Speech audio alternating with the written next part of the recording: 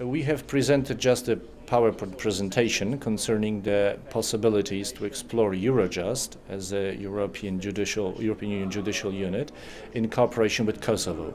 The aim of this presentation was to uh, deliver the participants, uh, uh, Kosovo judges, prosecutors and police officers, with possibilities to discover the new methods of uh, combating the crimes and uh, um, especially within the framework of European integration and cooperation.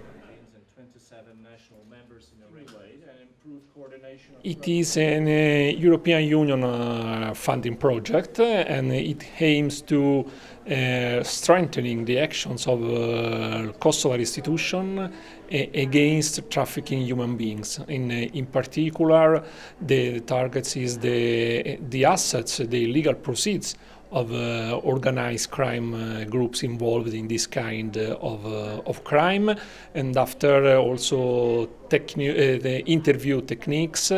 the regional and international rules on this, on this affair and uh, finally the case management uh, in this kind of uh, complex and articulated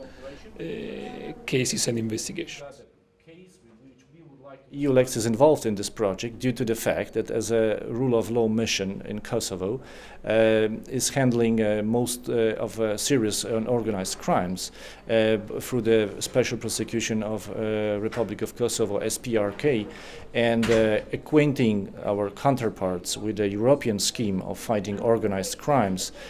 might be of good benefit for effectiveness of this of those efforts. Mm, we think that since it is important to facilitate cooperation among law enforcement agencies and judicial organs. This uh, conference and this presentation, respectively, presented uh, our counterparts and colleagues with comprehensive view